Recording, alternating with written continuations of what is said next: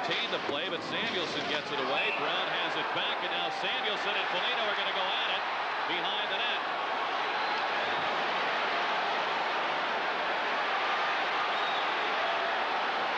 And the linesman will let them go for the moment and now step in.